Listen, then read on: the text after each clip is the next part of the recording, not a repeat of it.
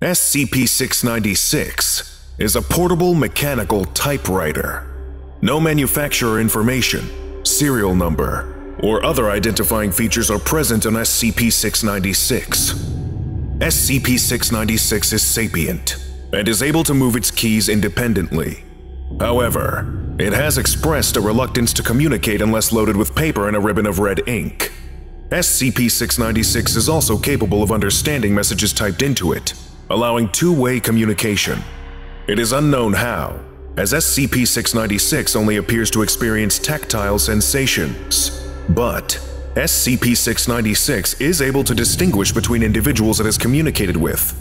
A majority of SCP-696 messages are typed in all capital letters in a verbose styling, and often include themes and imagery commonly featured in dark fantasy media.